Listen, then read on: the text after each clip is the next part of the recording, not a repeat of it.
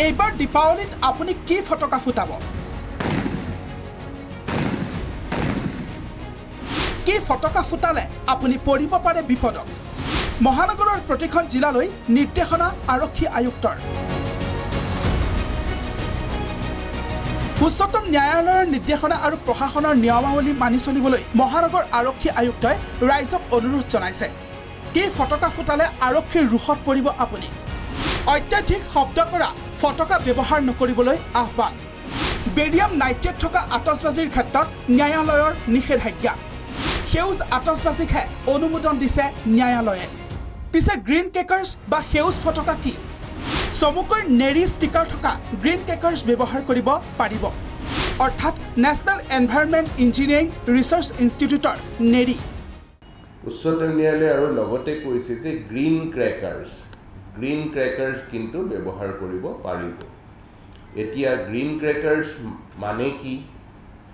Green crackers বুলি যিটো concept আহিছে সেইটোত আমাৰ national environmental engineering research institute এই নেৰীয়ে গৱেষণা কৰি কৈছে যে কিছুমান কিছুমান কেমিকেল যদি নাথাকে তেতিয়াহ'লে এটা ক্ৰেকাৰক গ্ৰীণ ক্ৰেকাৰ বুলি কোৱা হয়।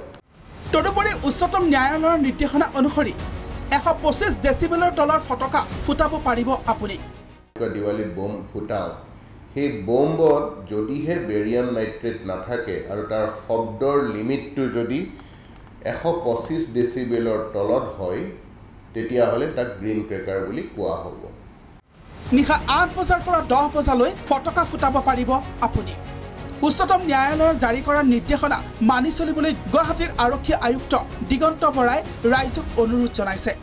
কোনো ব্যক্তিয়ে যদি এই নিৰ্দেশাৱলী উলংঘা কৰে তেতিয়াহ'লে আইনমতে যিখিনি দণ্ডৰ ব্যৱস্থা কৰা হৈছে আমাৰ নলেজত আহিলে আমি সেই আইনগত ব্যৱস্থা ল'বলৈ বাধ্য হ'ম। আৰু মোৰ বিশ্বাস যে ৰাইজে প্ৰশাসনৰ প্ৰতি আৰু উচ্চতম ন্যায়ালয়ৰ নিৰ্দেশাৱলীৰ প্ৰতি সঁহাৰি জনাব।